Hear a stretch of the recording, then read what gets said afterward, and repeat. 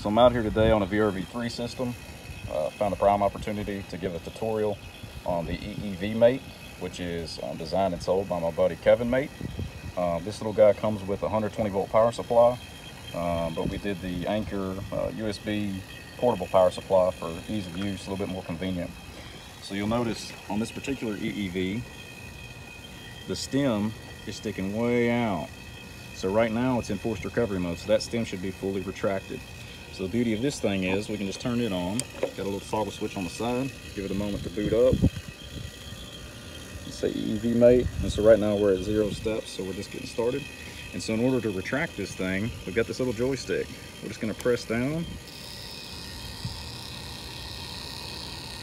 and then pull it back. We can watch that motor drive in. And so you hear some noise coming from that motor.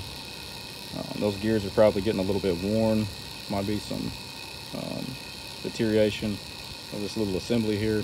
So it's probably going to be a good idea to go ahead and replace this one. But this one will definitely get you by um, by the use of this tool. Uh, kind of get you out of a bind, so to speak. So this is a great tool for uh, troubleshooting uh, EEVs to make sure that they're functional. Um, and then, you know, kind of get you out of a bind like in this scenario here.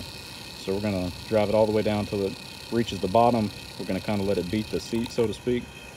And so it's all the way home.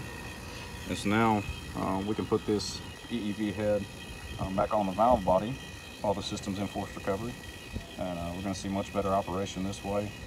Um, like I said, probably need to go ahead and replace this EEV head.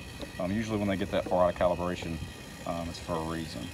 So anyways, that's the EEV mate.